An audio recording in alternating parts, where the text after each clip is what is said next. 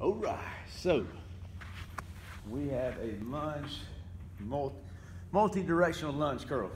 Um, means you're gonna lunge in this fashion, get into a lunge position, curl at the bottom of it, and then you're gonna swap sides.